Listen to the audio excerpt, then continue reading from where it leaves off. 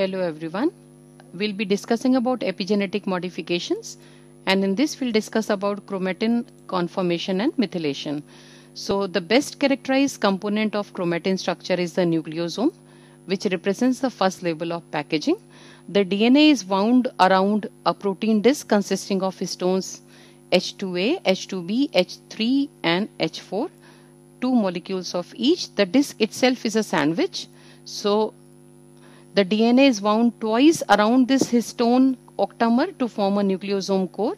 The two coils of DNA containing around 146 or 147, some texts also show 147, uh, base pairs of double stranded DNA plus 8 histone core proteins, which are compacted into a length of nearly 5.7 nanometers, which is the thickness of the histone disk. And running between the successive nucleosome cores are the linker DNA they are 8 to 114 base pairs. The linker length varies depending on the tissue from which the chromatin is extracted. At the next level of compaction of chromatin, single molecule of histone H1 which is attached to the nucleosome at the position of the linkers. This brings together successive nucleosome uh, cores and twists them into a 30 nanometer fiber producing another 6-fold DNA compaction. So DNA is subjected to packaging in nucleosome core where 146 base pair of DNA is wrapped around the 8 core histone molecules, two each of H2A, H2B, H3 and H4. DNA separating adjacent nucleosome is stabilized by linker histone H1. Histones are small, nearly 130 amino acid long. They are highly basic proteins. Very, they are rich in lysine and arginine, pi of greater than 11. So at physiological pH, which is nearly 7, 7.5, they are positively charged, very strongly positively charged, and thus they show very high affinity for negatively charged DNA. Histone molecule has a globular body along with N and C terminal tails that protrude from the body of the nucleosome and covalent modification of amino acids in the tail govern nucleosome behavior.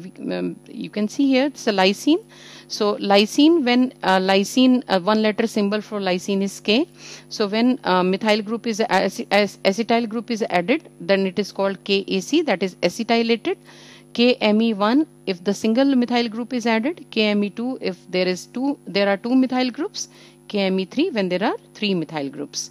So how do we, uh, what is the nomenclature for histones? So histones undergo many modifications and common nom nomenclature is histone type one letter symbol amino acid code, position of the residue, then modifications are described as AC for acetylation, pH for phosphorylation, UB for ubiquitylation, Me for methylation and Su for sumoylation. So H3K9 Me will be lys, uh, histone H3 lysine at ninth position which is methylated. So ly lysine at ninth position is methylated in histone H3 H4K12AC, this is H4 histone, lysine at 12th position, it is acetylated. H3K4Me3, so histone uh, 3, lysine 4 is trimethylated. So uh, you can see here these are four histone H4, H3, H2, H2B. So their tails at lysine or serine, they are modified with many groups so they can be acetylated, they can be phosphorylated, they can be methylated. So nucleosome appears like string of beads First level of DNA packaging is only one that allows transcriptional activity. So transcriptional activity is possible only at first level of compaction and specific amino acids in the histone, histone tail uh, undergo post-translation modifications and additional genes of histone encode variant forms of core histone proteins that may associate with specific chromosomal region for specialized function, functions. So centromere have H3 variant which is known as CENPA H2AX variant of histone H2 is associated with DNA repair and recombination.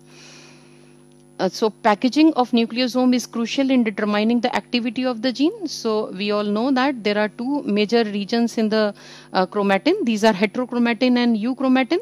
So heterochromatin is the inactive part of the chromatin. So it is closed inactive conformation, condensed and genetically inactive okay and heterochromatin uh, is the region which takes up the darker stain. That is why it is known as heterochromatin.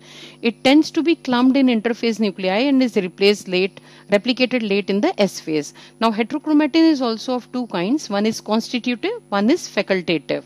So, constitutive heterochromatin is the one which is silent throughout the cell cycle. So, it can be visualized by C banding technique and is con consists of satellite DNA.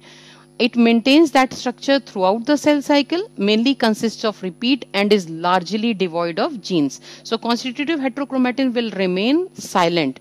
CPG methylation is concentrated. We have already discussed that methylation is the key to make uh, the part inactive. So CPG methylation is, a, is concentrated at repetitive sequence, satellite repeats in heterochromatin and dispersed transposons. So methylation serves to repress transcription.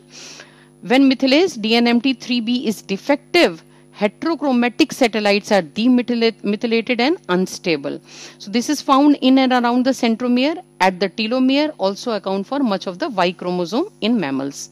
Now the next chromatin type is facultative. So constitutive is heterochromatin throughout which is continuously inactive while facultative is normally silent but can also achieve the different state. So transcriptionally silent chromatin containing potentially transcribable sequences that are specifically inactivated in certain cell types or at certain phases of development. It forms reversibly during life cycle of the cell as part of the control on gene expression. This is sometimes genetically inactive so remains condensed and sometimes active so remains decondensed. So we uh, will discuss about X inactivation. So X inactivation is a very typical state of uh, inactivation and this is uh, example of facultative kind of heterochromatin. Euchromatin is open and potentially active conformation. CPG islands are found at the promoters of many human genes these CPG clusters are protected from DNA methylation because we need transcriptional activity from these uh, promoters. So these CPG clusters, they remain, they have to be uh, demethylated. While the whether the associated gene is active or inactive, but CPG islands can also acquire DNA methylation shutting transcription. That is during inactivation or imprinted gene. Aberrant methylation of CPG islands of tumor suppressor gene is a general feature of cancer cell. So variable methylation for gene silencing plays an important role in developmental switch because uh, if, if we see the kind of gene expression which occur during development, so many uh, in synchronization many genes are off and after some time many genes are off. So they are controlled by these epigenetic modifications. So near the promoter, histone modifications are very important. So gene regulation is accomplished by methylation of H3K4. So this H3K4 is very important for gene expression. Uh, so uh, dimethylated and trimethylated H3K4 is present in discrete peaks in the genome that overlaps precisely with the promoted promoter region. So this H3K4 is dimethylated and trimethylated and the modification of this H3K4 is recognized by PhD domain of TAF3 subunit of transcription factor 2D, which is of basal transcription ma machinery. So for genes to be active, H3K4 resides very close to the promoter region. This H3K4 is dimethylated and trimethylated and the, this methylated domain is recognized by TAF3 of transcription um, factor transcription machinery. So H3K4 methylation const, uh, constitutes specific chromatin landscape that coincide with promoters and this modification contributes directly to the recruitment of RNA pol 2 transcription machinery. So DNA methyl transferases uh, methylating cytosine at CPG sites and operate as potent silencing complexes. They also sense the status of H3K4 because we discussed that promoters are very rich in CPG sequences but when H3K4 is methylated so these DNA methyl transferases they are able to sense this H3K4 methylation status and when they sense this they don't act on this sequence which has methylated H3K4. So H3K4 methylation protects promoter region against undesired silencing, which is very important for housekeeping genes which are transcribed from CPG promoter, CPG island promoters. So because of H3K4 methylation, these, this region becomes inaccessible to DNA methyl transferases, thereby rendering the gene active rendering the promoter active for functional activity. So DNA methyltransferases as contrast to TAF3 can only bind to nucleosome which is unmethylated at H3K4. So in the heterochromatic region this H3K4 typically is unmethylated. So this heterochromatin region because H3K4 is unmethylated so therefore it is accessible for DNA methyltransferases and then it helps in the recruitment of the DNA methyl methylases and uh, finally methylation and silencing. And in the normal cells, it this methylation helps in recruitment of transcription machinery but also protects promoter region against undesired silencing. So these are important for housekeeping genes transcribed from CPG island promoters which are natural targets for DNA methyltransferases and this is a complex machinery as protein recognizing modified histone may have histone modifying activity. So these are phosphorylation of cysteine at H3S10 promoters, acetylation of H3K9 inhibit H3K4 methylation. These are very important when some genes are imprinted like in X inactivation and all. So these modifications become very important because one after the other they carry out the event. Uh, so phosphorylation of serine is at H3S10 promoter, acetylation at H3K9, it inhibits H3K4 methylation. So if the serine is phosphorylated, if H3K9 uh, is acetylated, this will inhibit H3K4 methylation and inhibition of H3K4 methylation will bring about the methylation of CPG-rich promoters resulting in gene silencing. So ubiquitination of H2K, H2A K119 is essential step for D1 uh, for di and trimethylation of H3K4. So these modifications will lead towards heterochromatin and this modification will lead towards euchromatin or active activity of the gene. So the gene expression is a complex interplay and balance of stimulatory and inhibitory factors. So there are some of the diseases which are shown here which are uh, because of uh, the uh, methylation and demethylation status. CPG uh, binding proteins. So, so, so DNA methylation can be read by protein containing methyl CPG binding domain and after recognition these uh, HDACs are recruited. So these are uh, some of the factors uh, which will bind these uh, uh, methylated, histone or methylated DNA. So they will interact and recruit other factors as, as, we saw in the previous slide. So H3K9 methylate, methylation binds chromodomain uh, protein that recruits DNMTs which repress um, uh, chromatin.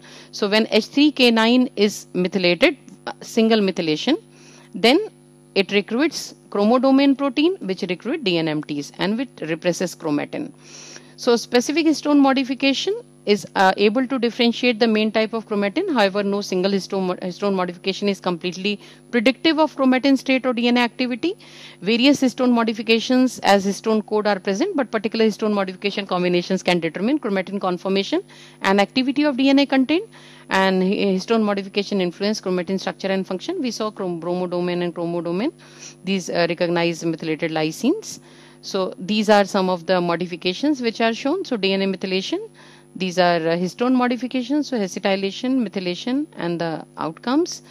Uh, then non-coding RNA, these have gained increasing importance with the discovery. These are responsible uh, for um, silencing of the genes and um, gene con genetic uh, control of gene expression. These are selected references for um,